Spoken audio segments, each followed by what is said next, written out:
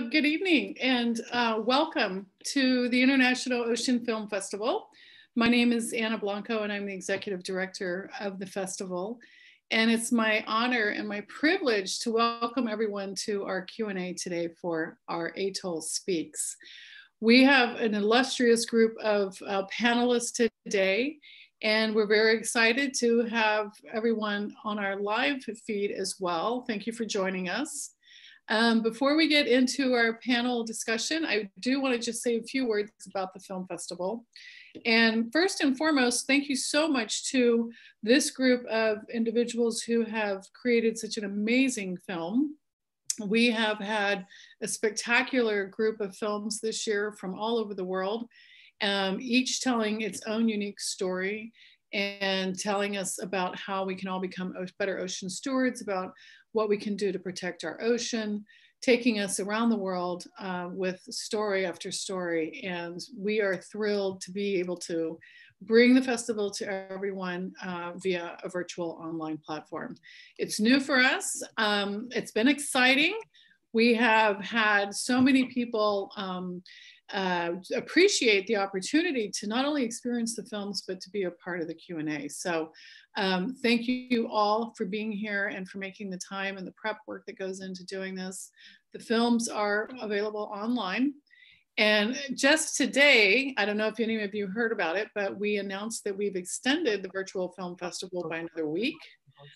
So the end date is now Sunday, August 16th, which gives everybody more time to watch the films, to watch the recorded Q&As.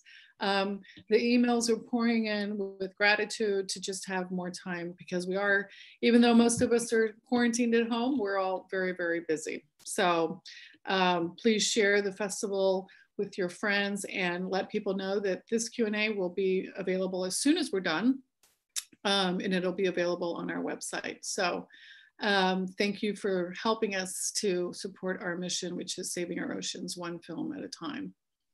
So before I get started, we have a guest who is joining us from Puka Puka. Let's let him in and give him a big, big welcome to Pio Ravarua. Let's see. How exciting. this is epic hope he's he was patiently waiting for us. So, oh, here he comes.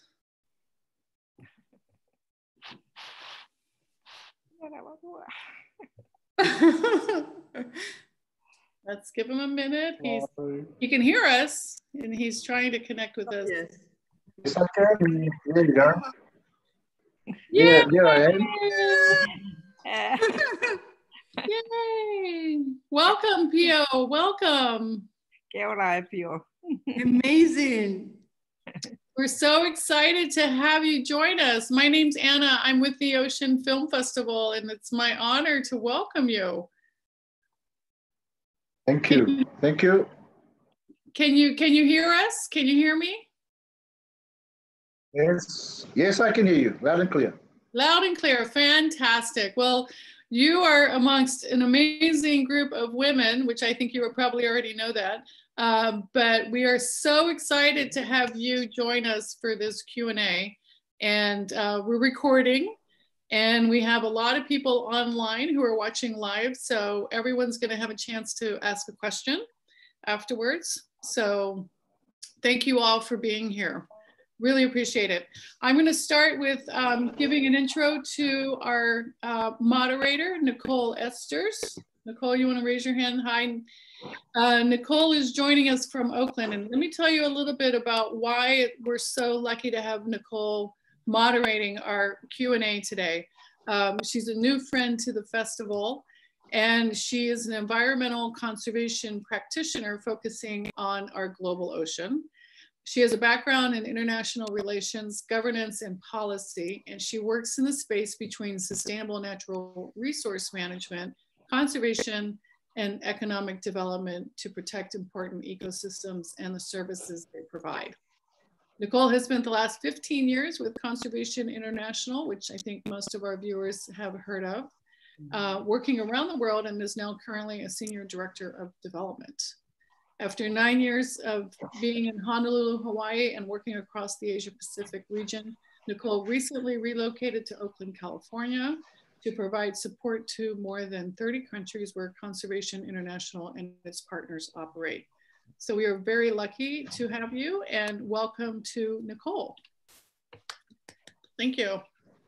Thank you, Anna. It's, it's, uh, it's, wonderful to, to be here and to join everyone. And thank you. I'm so happy and honored to, to be asked to moderate this, this panel and, and this Q&A session on the film Our Atoll Speaks. It's a beautiful, wonderful film. And I was just so personally moved by it. So I was getting more and more excited as we as this buildup came.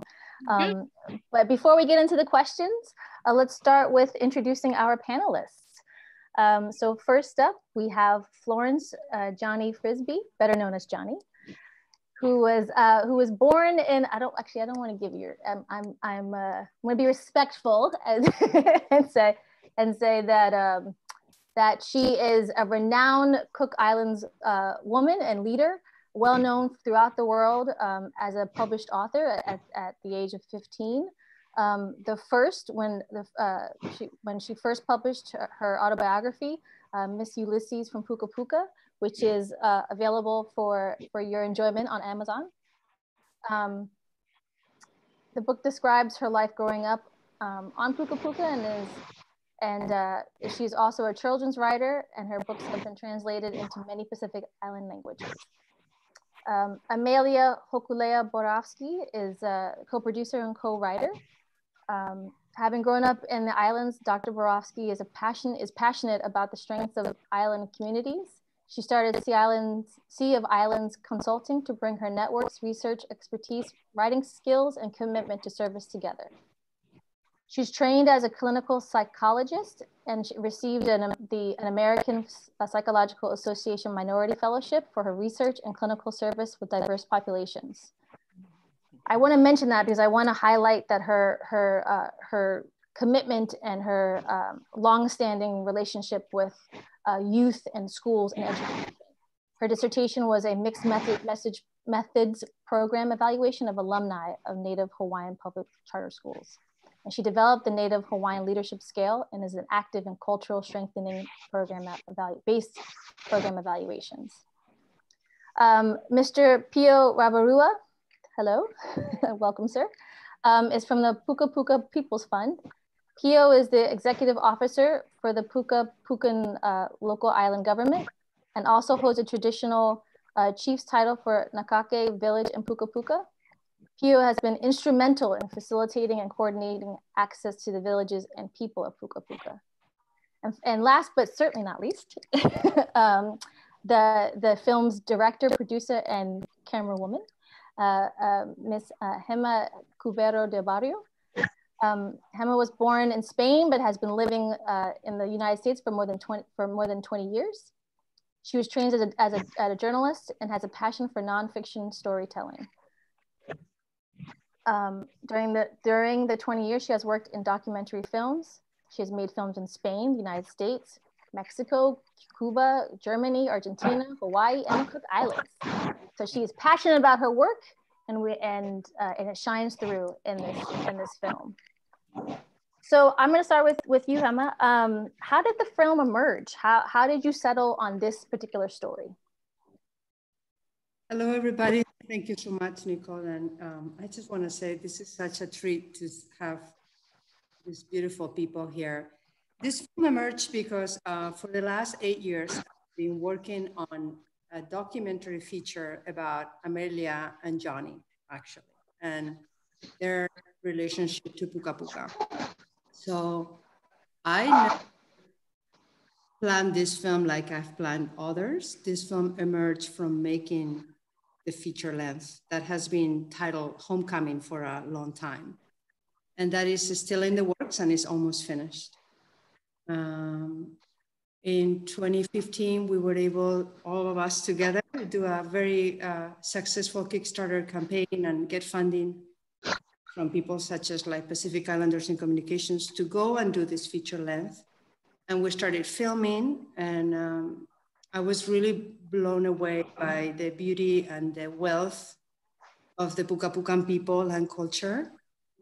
And I realized that I needed to go back, that five weeks to make a film was not enough or not even to capture this amazing place. So in 2017, um, I went back with Amelia to capture more footage.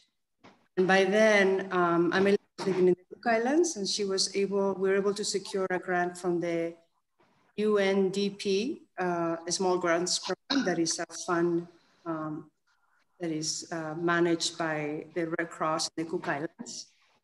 And um, that's, um, and then this fund said, we'll give you funding to support so you guys can go back to Puka Puka, but you need to do a film that is to climate change.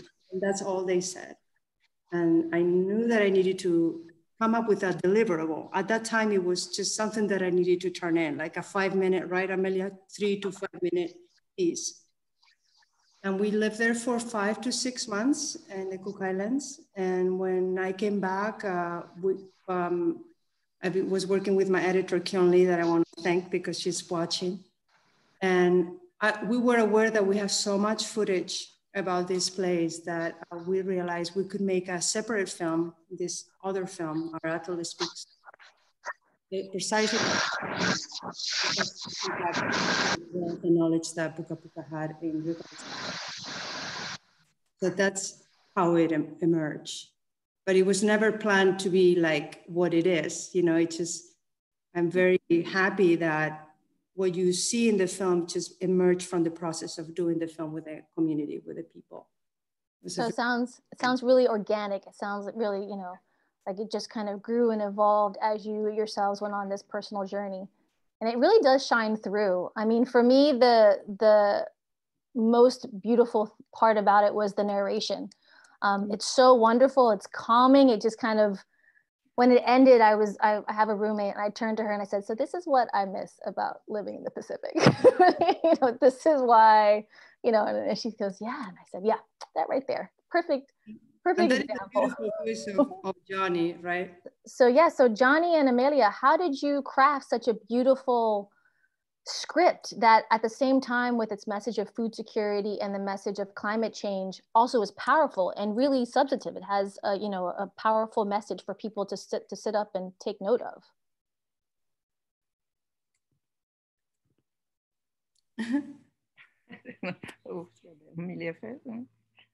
um, it was a, a total surprise. Um, at the time, I was approached by Amelia and Hema. They came to the house, and it was a, a surprise. And um, I was very moved um, because I was be beginning to get homesick uh, for Puka Puka, but there was no way, uh, no way I could um, afford to go to Puka Puka at that time. Um, and then we, we talked about uh, the possibility of going to Puka Puka and filming um, Homecoming. You know, I was just on top of the world. It was beautiful gift, beautiful gift at this point in my life. Thank you, Amelia and Emma. and Amelia? Um, so the the poetry and pacing comes from Johnny Frisbie's melodic voice and her storytelling. And I think it comes from listening to stories growing up in Puka Puka. It's very visual when you're sitting around listening to stories and legends. And it came in part from um, my background as a qualitative researcher. So Hema had hundreds of interviews um, from over the years. So I began to look through all the interviews and highlight everywhere that someone had talked about food security and conservation and took it all together and made it into a narrative poem. So all the words come from people living on the island. And everyone on the atoll speaks very visually and poetically. So I think that's where that comes for and uses a lot of metaphor and different, um, just rich language and being able to take all everyone's words and make it one voice so as if the atoll is actually speaking and then the opening is from the legend um, oh Oh no, we lost we lost Amelia. So mm. uh, we we will we will wait for her to. Well, we'll let her obviously try to come back on. Um. But I'm I'm gonna um, I'm gonna actually shift gears a little bit um, to Mr. Pio. Um, you know, how does it feel to to share Puka Puka's story, its origin, its you know, its its uh, environment, its its feeling with you know a global audience who are for many for most people including myself just you know discovering this wonderful place for the first time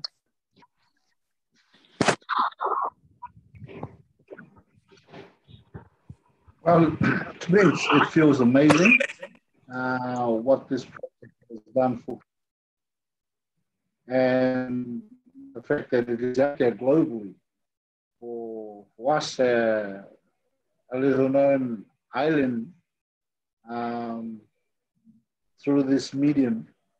It is it is amazing. It is amazing. Uh, while I'm proud, I'm proud of what these women, their efforts in, in, in what they've done with this project. Um, there is a feature, full feature documentary on the way, and part of that journey is, as they've already said, as I was saying, uh, they were able to produce um, some of the material that was filmed through this uh, short film. So it's, uh, to me, as a native of Puka Puka, I'm really proud and glad of, of their efforts uh, in producing this. And it is fantastic and it's amazing for me to look at this and, and and the wow factor is there to, to, to imagine, to think that globally we are right, right up there. And many accolades this film has brought, it's, it's quite amazing. Thank you very much for, on behalf of the people of Pukapuka. Thank you. Wonderful. All right. So I don't know what else to say. well, I, I, have a, I have another question for you, but I'll give you, but I'll give you a, bit of a, a, break as I as I move on to some of these other ladies, these other wonderful women. Um, so Amelia, I know we kind of got cut off in your in your in your uh, your answer for the previous question, but I found the the the, the fact that you said a poem and poetry really really amazing because it does shine through in the narration. You know, with your with your background in in education you know one of the last things in the film is you know a note about youth connecting to the environment. Um, knowledge and tradition is mentioned throughout the film you know uh, and and um, how do you see your work? How do you see that kind of being advanced and move forward with this film mm, thank you for that question it's a great question um, you know what i learned about climate change in puka puka is that it's really about conservation and connection, and that the youth um, are connected to the land and to their sense of place and preserving that connection for the next seven generations. And what I saw there just blew me away. Um, but not everyone on the island, especially the youth, were always valuing how much rich knowledge there was. So, you know, Justin Bieber and Beyonce on the cell phones, whereas you know, sometimes more exciting than going to catch a coconut crab or watching the full moon for the reef fish. And just a reminder that this knowledge is so rich and to honor it and respect it and, and make it sexy to connect to the land and to connect to our sense of place. And that can be done anywhere in the world, not just in Puka Puka. We all have a sense of place to connect to. And that's where the education piece, you know, comes in of finding our sense of place. Puka Puka and Puka Pukans have such a strong sense of place, um, but we all have that potential. And then connecting to that environment and getting to know it and responding to it. That's what climate change and conservation is about. It's about knowing your environment and then responding to it. So um, it was such a huge lesson for me, you know, having spent so much time doing book learning. You know, for the first time in my life, I I caught my own meal all with my hands and I'd never done that. And to me, it was just revolutionary. And to everyone else, it was just everyday life. And so to really elevate respect and yeah, make it appealing and sexy to the younger generation. It's part of the the mission. Wonderful. And and Johnny, you know, um, you know, as someone who has been telling the story of Puka Puka for for since you were a child yourself, how are you feeling at about how how this film, you know, continues this legacy of storytelling and and for your home? Mm-hmm. Yes, um, there are there are changes um, since I lived on Puka Puka. Uh, changes from the time I was, you know, uh, a little girl and um, I have I did return in 1961, uh, but since 1961 to 2015, there is a big change. Um, there is a little bit of television here and there, and uh, cell phones, and many of the uh, many of uh, the Puka Pukans have traveled to New Zealand and Australia, and when they do leave for those two places, uh, it's not for months or two months. It's a waste of time. It's, you know, for a year or two years, sometimes three years, and then they return to Puka Puka and they've uh, come back um, uh, a little slightly changed in there because they've learned so much in a place like Australia, traffic, big theater, restaurants, many, many things. And there is that um, uh, slight change in the Puka Pukans, you know, but they're still uh, beautiful, you know, their hearts, you know, just full of love and they're very polite and kind and always offering, would you like a coconut? Are you thirsty? I'll climb, like the boys, I'll climb up a coconut tree to fetch you a coconut, you know, those, those, those still remain, that hospitality that's just unbelievable. Um, yes, um, hmm, for now, that's all I can say. okay, and along those same lines of you know how how the island and the atoll functions you know the one of the key messages in the film that i saw was you know it's a it's a communal society and where mm-hmm. you know group dis, group dis, mm-hmm. decisions are made you know for conservation for sustainable management mr mm-hmm. pio would you kind of give us your your experience with that and, and how that come how, how that goes continues on you know, over the years and, and how you've been able to maintain that as as an atoll community.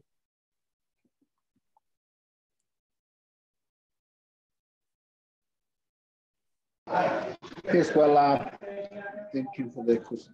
Um, as a as an atoll community, um, everybody basically knows everybody, from the from the newest child to the island, and to the oldest person, to the wall.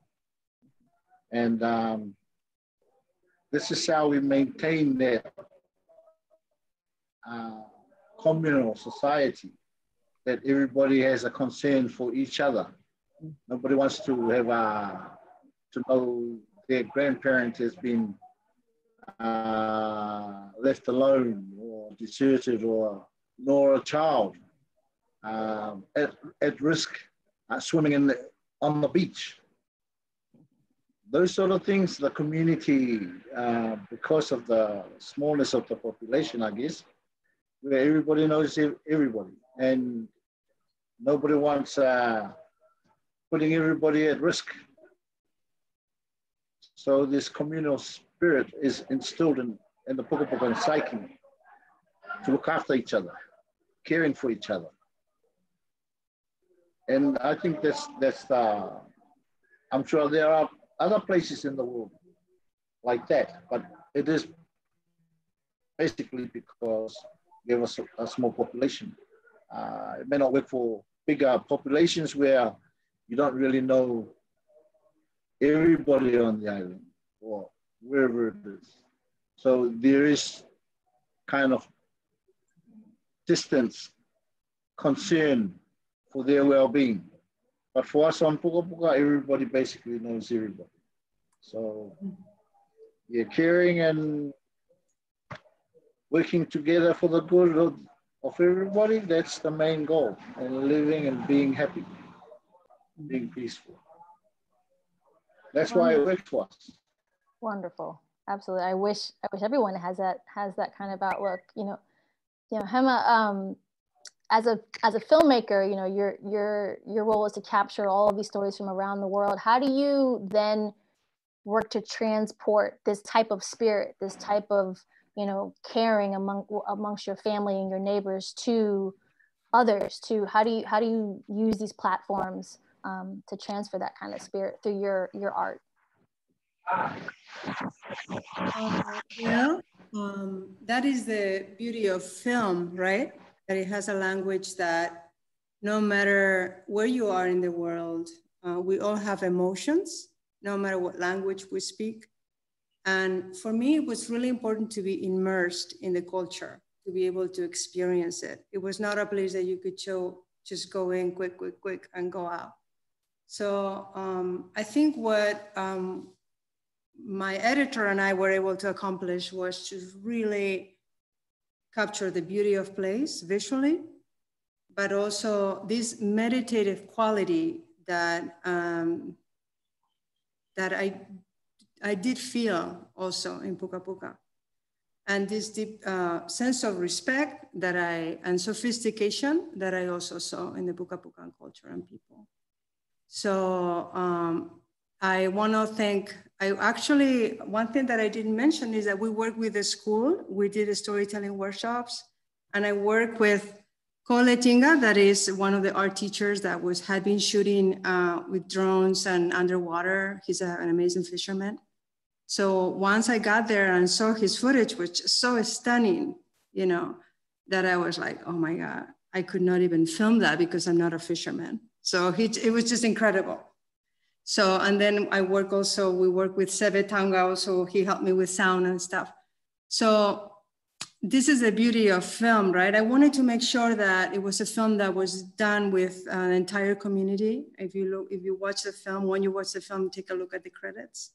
We made the intention. It, this, everything has been very intentional to really include everybody there and then use the language of cinema, right? The visual, the sound, the beautiful editing that this doesn't come. Drones are great drones, but it's how you edit it, you know? And also the sound, and it was important, I think, for all of us to include the language. So if you don't know where Puka Puka is in the world, uh, you're gonna learn about this through this film, but also I wanted people to hear the language. And that's why we were so blessed to have Johnny also be able to do the narration and include here and there the poetry of the language that is really unique to, to Puka Puka, right, Pio and Johnny? So include all these ingredients so when you're watching it, you're just so taken by it that you will remember it and maybe you will want to do something in your community. I mean, not everybody has the luxury of living in such an amazing place, but hopefully it will inspire you to really uh, do something in your community about conservation, about adaptation. Well, with that in mind, I, I, would I would love to hear from all of you all what you would what you are taking from this experience and being a part of this film, being you know making it, narrating it, you know having it having it set up shop in your home. Uh, what are you what are you uh, feeling and planning on taking forward? And I'll, and I'll start with you, Johnny. Oh, um, um, I, um, you know, I, I've been around. I've visited other islands in the Pacific, and um, and I've seen the change. There, there has to be change uh, because we have airports and plane coming in and bringing tourists from all over the world. So um, the people, local people accommodate them. They make, want to make sure that they're comfortable, that there has to be changes, you know. And uh, and so uh, I was I was very happy that the change on Puka Puka is not so severe that it's absorbed, you know, a lot of the customs and definitely the language is still so uh, beautiful and um, intact. Well, there's some Rarotongan words here and there, but um, the older people speak that language and they speak it in a way that it's almost like they're chanting um, when they talk to you. It's beautiful. Um, the changes are minor and um, it's, it's, it's good because Puka Puka can't just be protected. Uh, the beauty of it, the language, the people can, and the world, you know, world moves on. they, they need to also pick up here and there what is best for them on an atoll without destroying completely the, uh, the, the, heart of the place. And uh, that is that is the way it is. And luckily, luckily, Puka Puka is very far away. It's so it's not it's hard to reach. It's, it's not easy to reach. And now it is because it's in the strip and the plane.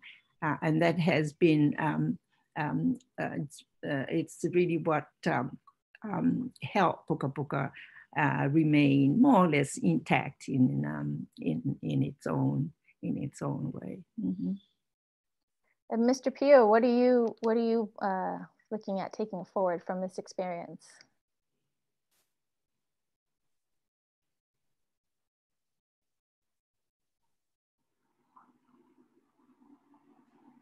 Oh, I think you're. Yeah. Um, uh, I don't know. I'm, I'm just blown away by the project itself. But uh, what, what I can take away from as uh, Auntie J, Johnny was saying, um, I treasure the isolation in one way because we don't want our culture to, with uh, uh, tourists, too many tourists coming in and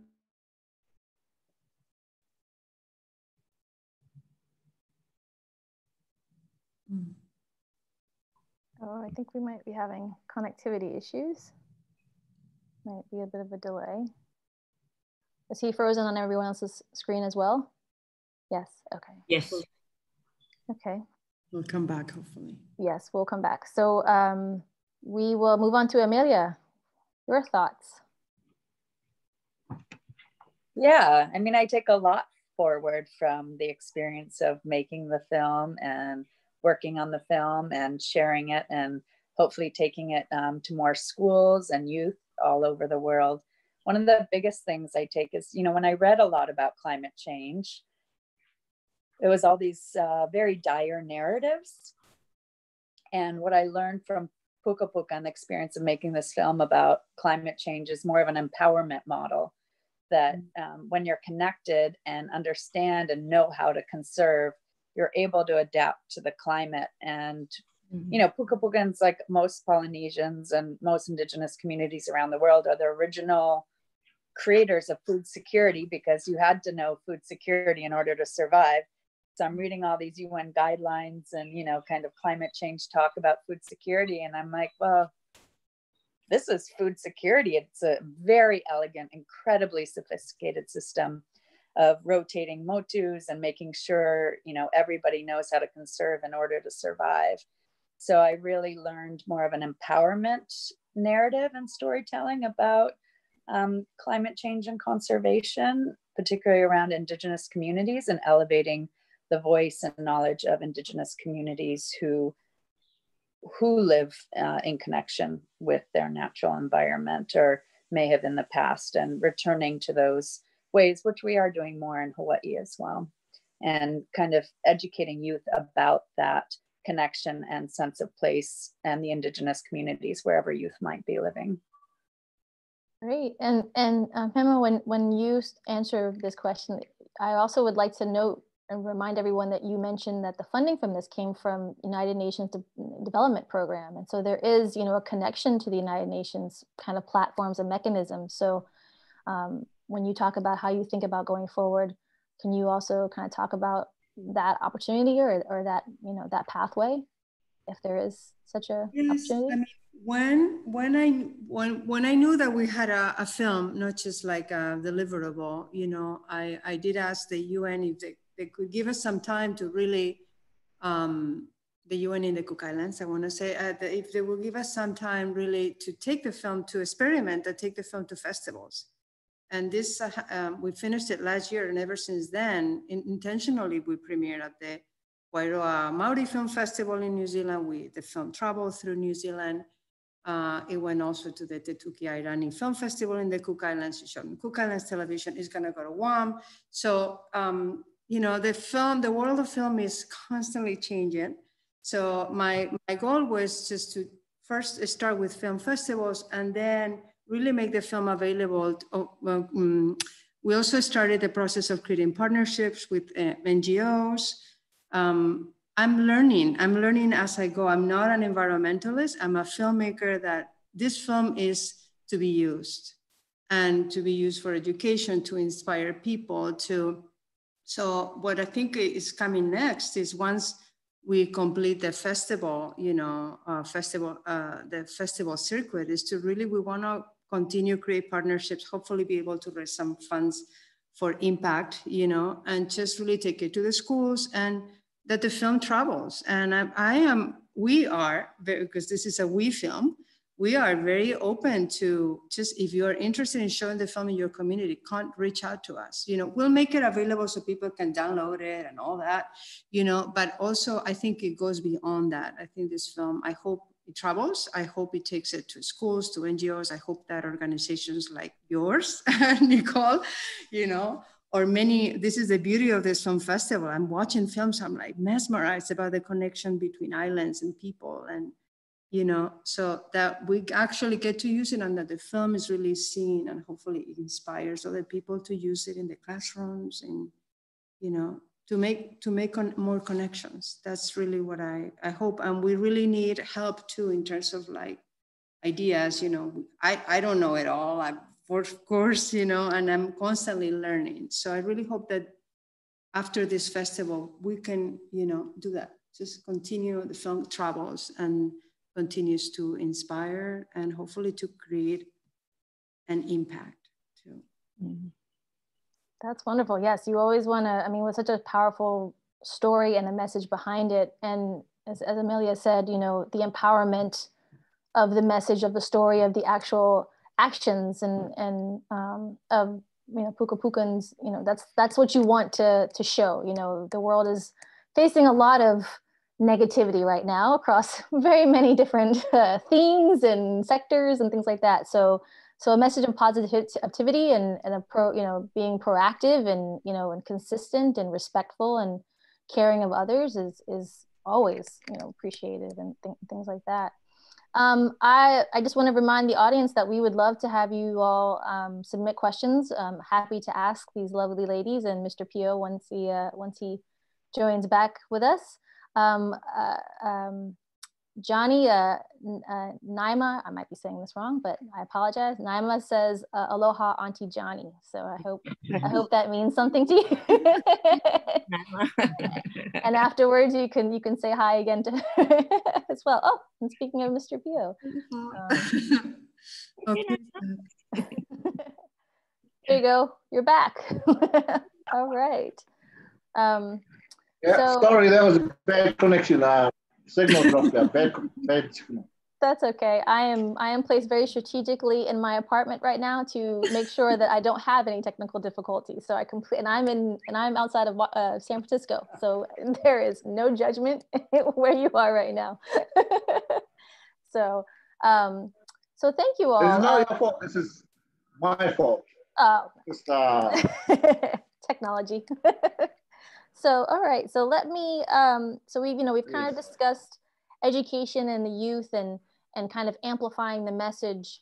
Um, have you all heard from others and as a um, feedback from, from them, you know, from the film, you know, you've, you, you showed it in, in New Zealand and Mr. Pio talked about, you know, some of the feedback already, but I would love to hear and share with some of the, you know, with the audience, some of the different kinds of feedback that, that you're receiving from um, from those who have seen the film and, and the responses.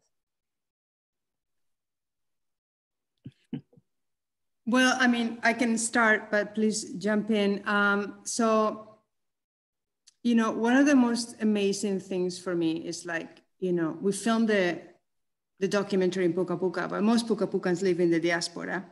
So, you know, to me, when we went to New Zealand, and that was completely intentional, and I just saw the reaction of the people, of the Puka Pukan people and the Cook Islanders. And um, in New Zealand, that was just very moving, you know, even even youth that have never been to Puka Puka, but whose parents had been and they have not been able to go back or ever even seen. So that is one uh, very emotional reaction of people really um, being able to see a place that they love and they long for.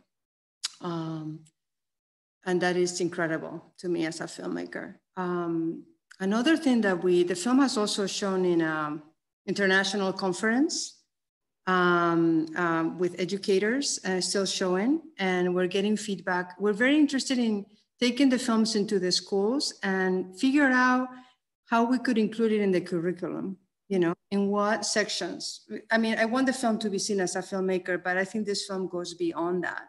And how can the film be used, you know, to really, not just to spread the message, but also um, to create some kind of change also in whatever communities the film is seen. So, um, you know, is uh, we did a screening of the film in um, in Bolivia, you know, and people there is a lot of connections when people see the film they are connected no matter you know where they are so that to me is always very positive. But i, I think for me i would like to hear from you know educators you know and from other organizations ngos environmental agencies indigenous rights organizations.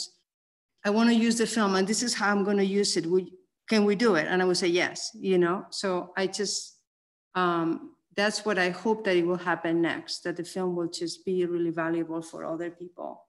To also, um, you know, not just promote, but to really spread their message um, on, on climate change and indigenous rights and, um, and conservation. And, um, and any others, just kind of what you've heard, the feedback that you've gotten as, as people um, involved in the film. Well, um, the friends, my friends, and all want to go to Puka Puka after seeing Me too. how do I get there? You know, uh, what do I take? What do I wear? Uh, do I have to walk bare feet all the time? You know, and will you come with me? You know, I'll feel better if you come with me. Yeah, it's it, it's just it's such a it's so foreign. it's so far away. You know, I never get back. Yeah, it's funny, but um, yeah, um, um, many of my friends who've seen the movie uh, now understand a little bit, somewhat of you know why I am who I am uh, because I, I, haven't really changed much. Is that good, Theo? yeah, hmm, a lot of people are interested in the and they marvel at the um, at uh, the fact that um, the people still speak their language. They chant um, at uh, at funerals.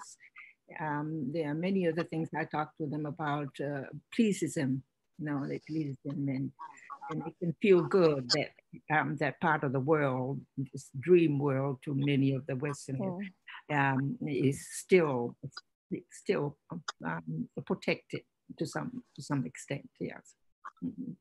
from uh, from destruction. and and Amelia. Um, yeah, the world red carpet premiere of the film was in Puka Puka and Pio was there, so he can speak to that. And mm-hmm. everyone's names, Gemma made sure to include every single person living on the atoll's names in the credits, which was a lot of work. Mm-hmm. And so that everyone could see their names on the big screen. So I'm sorry we weren't there for that moment, but I'd love to hear from Pio.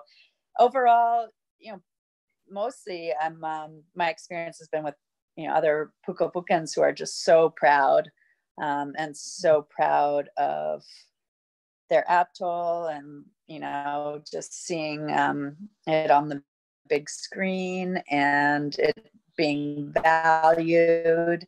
And most people in cook island said oh my gosh i had no idea. Puka puka is so beautiful.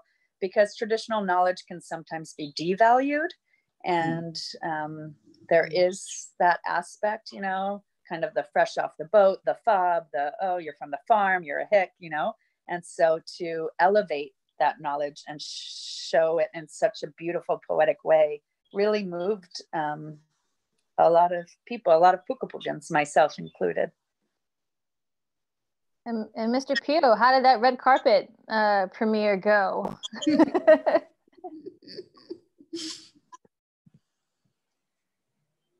the, the, the, reaction of the, especially the kids, the children, when they see themselves on on the big screen, that's just priceless.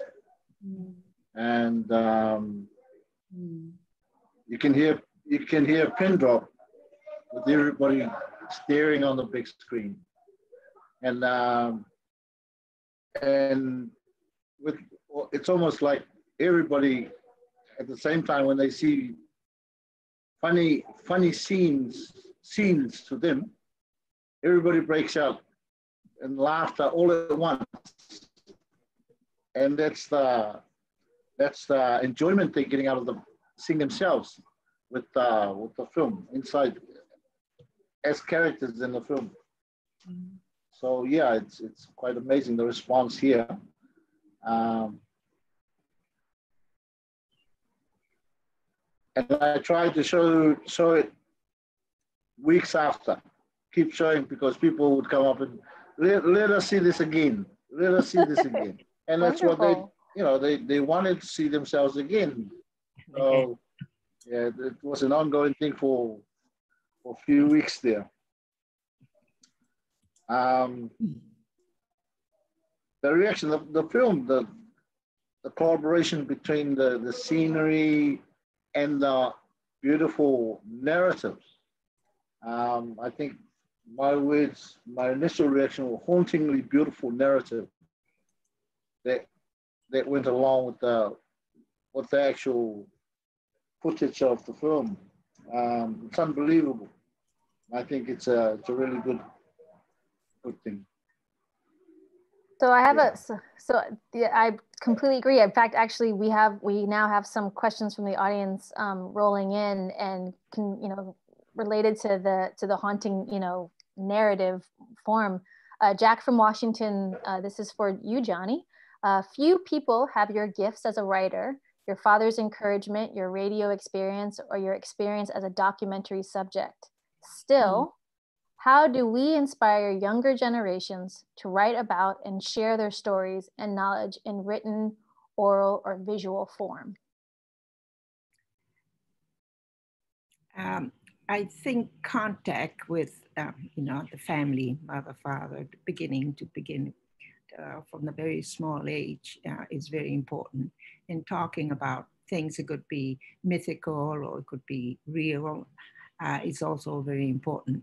And then reading to them uh, um, stories from, um, uh, well, my father, um, yeah, reading um, stories, children, and explaining um, clearly um, what further what the writing has been, where the, uh, the writing um, is has said, uh, described.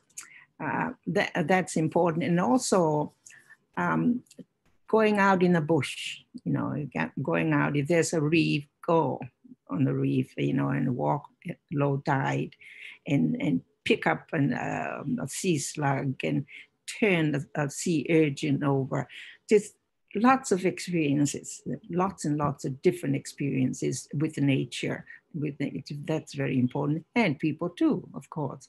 And have have kids, your friends, have their friends come to the house and and see you and in your home, uh, and make it um, comfortable too, not just to come and sit and and you know a little a little afraid of to do something, to touch something it's a lot, lots and lots, but there has to be that action all the time, you know, not just feel that you read to the kids at nighttime and that's it, you've done, you've done your your bit to have their mind expand and their heart pounding, you know. And my father was very, very good, very, very good. You know, we uh, going on to the reef and then diving through a big wave into the ocean. So you have the big waves between you and, and the land and the reef. All those things, they were all very exciting and disturbing in a way, but it also, you also learn courage so that when you do write, you know, you, you're not afraid to describe certain things that are not normally written about. The, uh, so yeah, mm. yeah, just so, activities, activities, activities. Yeah, very important. Very important. Get out there and do things. Get out there and do a whole bunch of different yeah, things, yeah. different ways and shapes and yeah. forms. Yeah. oh yep. And that way, that mm-hmm. way you can build up a, a, suite of stories to tell.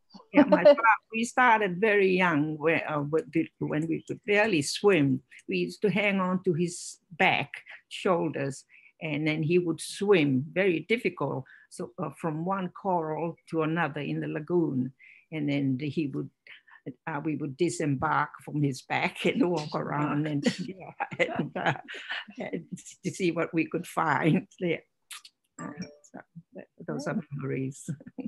Great. Well, and those things, uh, uh, contact with parents and um, and dear friends um, is is so important. Yeah, because it comes back to you all the time as you as you age. You know, they're precious, mm-hmm. very precious. Mm.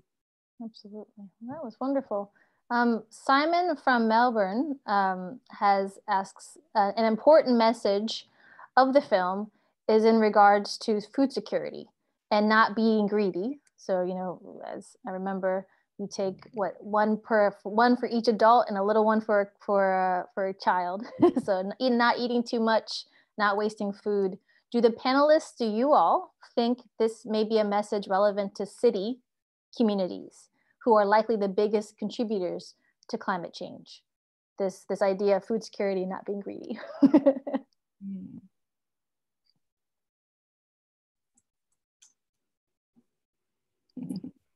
I think Pio should answer this one.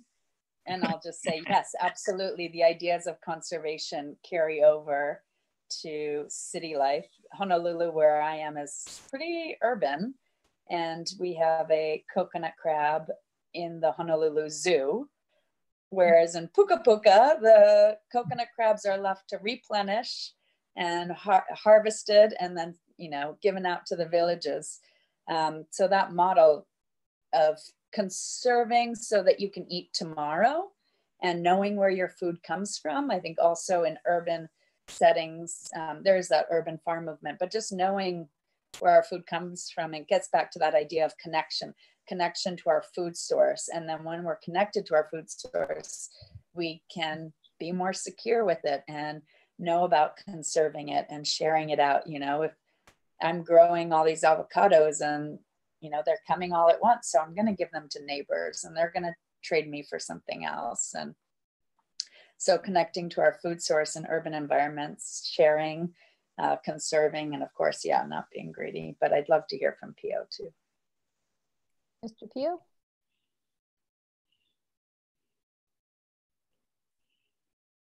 Thank, thank you for that, Amelia. Um, uh, food security it's part of our tradition. It's all engra- engraved in our, engrossed in our uh, traditional ways.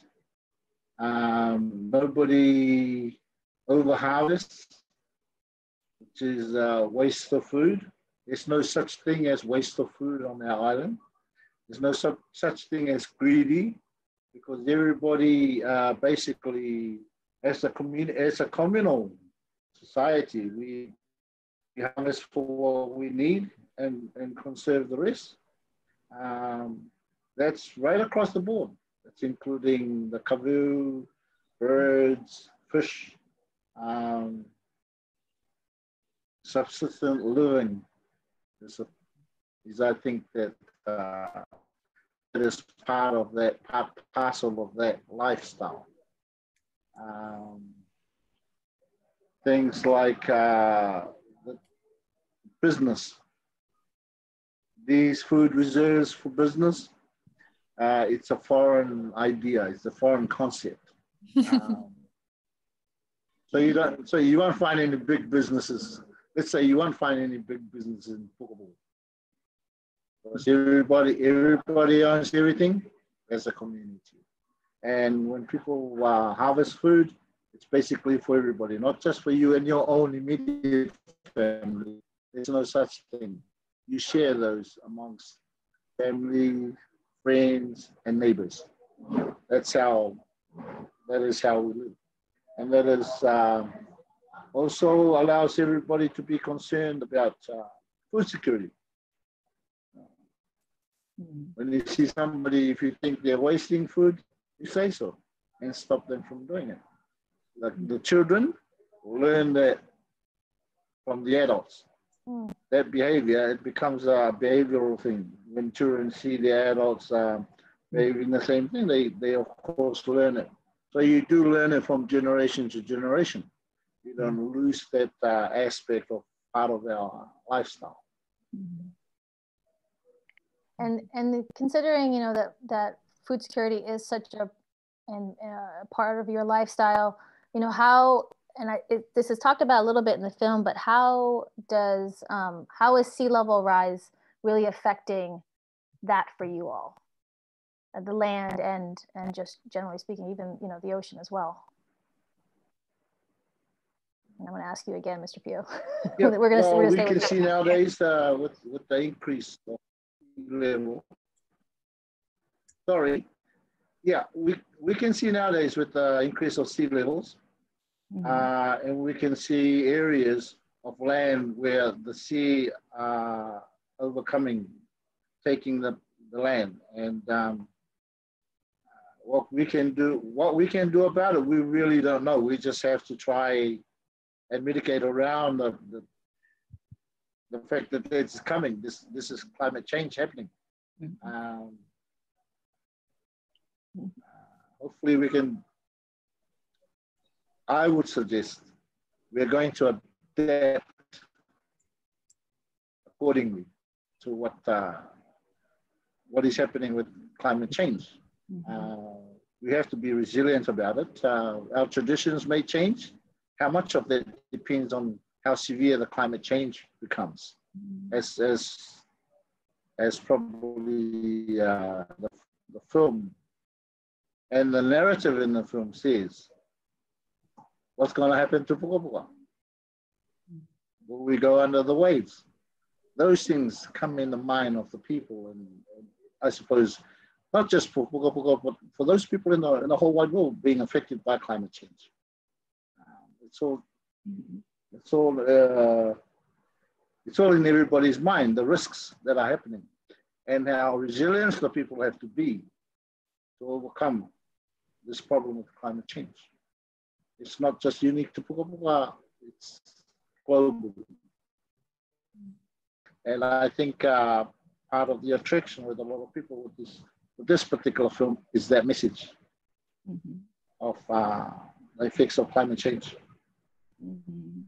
Absolutely, uh, it's it's something that so many people will be able to to connect with around the world, and I, you know, Gemma, they, you know, one of the things that you mentioned in one of your comments earlier was, you know, your your wish that this that this film triggers um, someone to take action, you know, take a conservation pledge or do something in a local community. Um, you know, can you kind of expand on that a little bit, or? Um,